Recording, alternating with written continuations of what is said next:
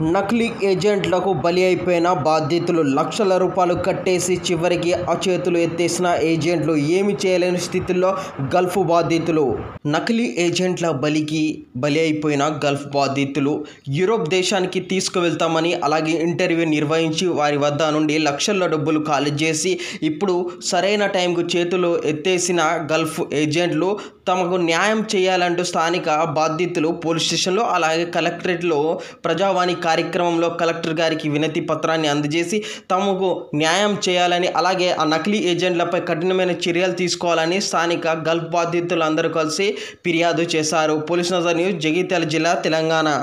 ఇప్పుడు గల్ఫ్ పోవాలంటే లక్ష రూపాయలు కడితే గల్ఫ్కి వెళ్ళిపోతాం. ముప్పై వేలు వస్తాయి. అదే నాలుగైదు లక్షలు కట్టినామనుకో లక్ష రూపాయలు జీతం వస్తాయని ఆశతోటి మేముండే. వాళ్ళు మమ్మల్ని ఎరేసారు ఫస్ట్ కట్టినాం.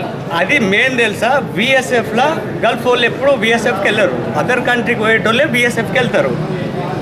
వాళ్ళు ఆల్రెడీ బీఎస్ఎఫ్లో మేనేజర్ తోటి టై ఆయన డైరెక్ట్ బీఎస్ఎఫ్ మేనేజర్ తోటి కలుస్తున్నాడు ఇప్పుడు మనం వెళ్తే కౌంటర్లోనే కూర్చోవాలి. మనం లోపలికి వెళ్ళడానికి అథారిటీ ఉండదు. అయితే ఆయన ముందు ప్రీ ప్లాన్ చేసి ఇది చేసుకున్నాం. ఇప్పుడు ఆయన ఏం చేసి డైరెక్ట్ వెళ్ళిపోయారు. మనకు నమ్మకం వచ్చింది.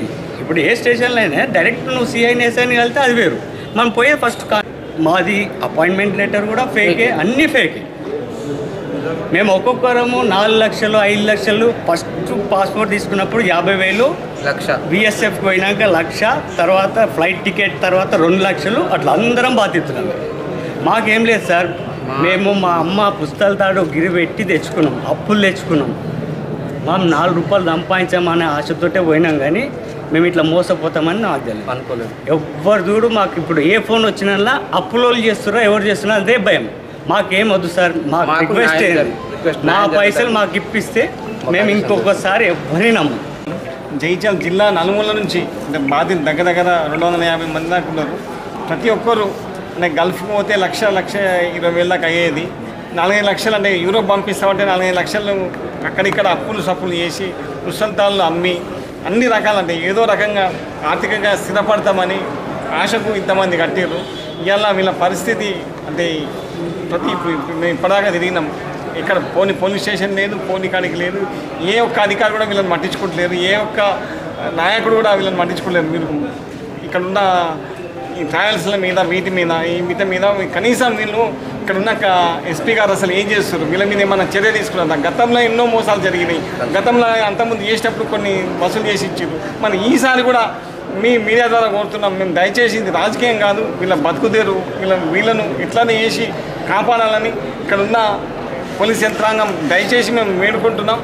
మీరు ఏం చేస్తారో ఏం చేయాలో సార్ ఆయన మీ దగ్గరనే ఉన్నారు అన్నారు. మీ దగ్గరే ఉన్నారు కాబట్టి వీళ్ళకు పాస్పోర్ట్ ఇప్పించుకుంటే వీళ్ళ డబ్బులు కూడా ఇప్పించాలని మీ మీడియా ద్వారా నేను దయచేసి కోరుతున్నాం. ట్వంటీ ఎయిట్ రిజిస్టర్డ్ ఎవరు ఉన్నారు? రెగ్యులర్ రెగ్యులర్గా ఈ ప్రాసెస్ చేసే వాళ్ళు ఎవరు? What are the required documents for it ఎవరిని నమ్మాలి? ఎవరిని నమ్మొద్దు? ఏమైనా ఉంటే ఎస్పీ గారి ద్వారానే ఒక ఈ ఎన్రోల్మెంట్ కూడా చేపిద్దాం. బట్ రిజిస్టర్డ్ ఎవరైతే ఉన్నారో వాళ్ళ ద్వారా. Hmm? అక్కడ జాబ్ ఉండని మబ్బే పెట్టి వాళ్ళని అక్కడ పంపిస్తారు కానీ అక్కడ జాబ్లు ఉండవు. అక్కడ ఏజెంట్ కూడా రిజిస్టర్డ్ ఏజెంట్ ఉండాలి. ఆయన ఆయన రిక్వెస్ట్ ఎస్పీ గారు ఆన్ దిస్ మీ ద్వారా కూడా ఎవరైనా బాధితులు అంటే ఇలా ఇల్లీగల్గా పోతే ఎలాంటి కాంప్లికేషన్స్ ఉంటాయని మీ ద్వారా కూడా సో దాట్ దాంతో అయినా they will learn that this is wrong and a procedure ప్రకారం పోవాలని చూద్దాం. ఇప్పుడు ఇంతమంది ఐ డోంట్ నో లీగల్ ప్రాసెస్లో చాలా టైం పడుతుంది. The concern person has been apprehended పెట్టారు. కేసు కూడా ఫార్వర్డ్ చేస్తారు. కేసు కోర్టులో ప్రొడ్యూస్ చేస్తారని చెప్తున్నారు. ఓకే? మీ ద్వారా కొంచెం ప్రెసెంట్ మీడియా ద్వారా కూడా చెప్పించాలమ్మా ఇంకా ఇంత చదువుకునే వాళ్ళు ఇంకా మూర్ఖత్వంగా బిహేవ్ చేస్తాము. ఆల్రెడీ అప్రిహెండ్ చేశారంట హైదరాబాద్ నుంచి పడుతుంది తీసుకొచ్చారు. కన్సర్న్ పర్సన్ ఇవన్నీ తెలుసుకోవచ్చు